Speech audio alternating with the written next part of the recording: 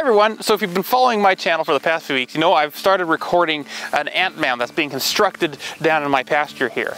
And the ants have suffered some real trials and tribulations. Uh, they've suffered rain, snow, bird, bird attacks, vicious bird attacks. Real, truly, uh, the, the ant mounds have been torn apart several times, and every time they've rebuilt. So we're gonna head down here, set up the DJI Action 2, which is what I've been using to record the whole time-lapse process.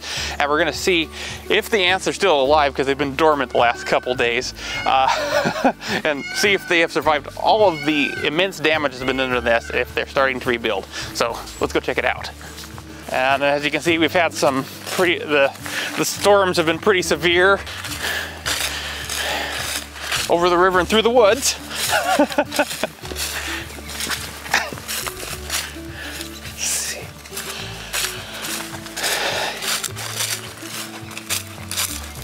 Okay. Oh, they're, they are out today.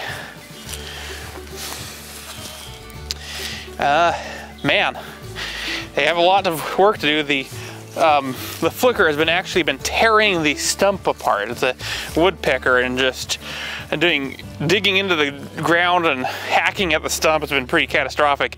But the ants are out here today.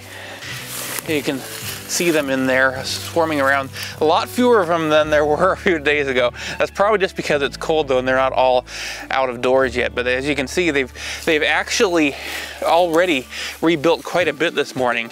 And I'm sure they'll have, you know, several more inches on it this afternoon. So I'm very happy to see that the ants are still alive. I was actually, after the heavy snow and all the bird attacks, I was worried the ant man was just finished. But looks like they're struggling through and fingers crossed the weather will improve and they'll have some nice warm weather in which to build a great big mound here and I'm gonna capture that all in time lapse.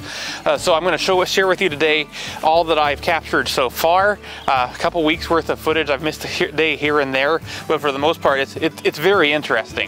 And yeah, enjoy and I'll see you all again in another, uh, probably another month with an update on this video. Let's see how, how the ant mound is doing then.